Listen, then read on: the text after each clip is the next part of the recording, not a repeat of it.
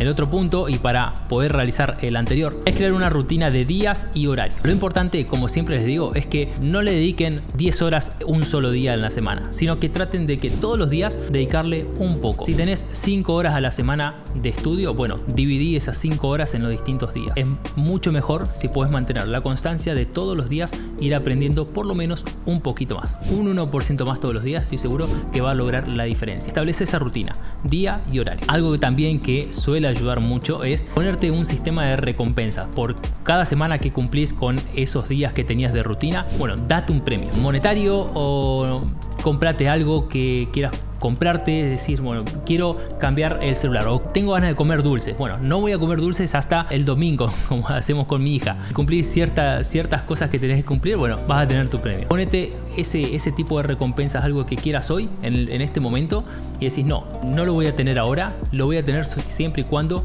cumpla con mi objetivo de días y horas estudiadas.